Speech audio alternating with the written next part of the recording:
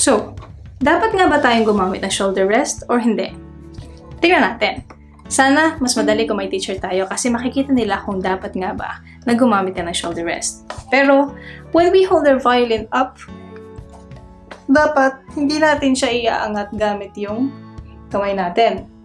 Also, hindi natin dapat tinataas yung shoulder para secure siya.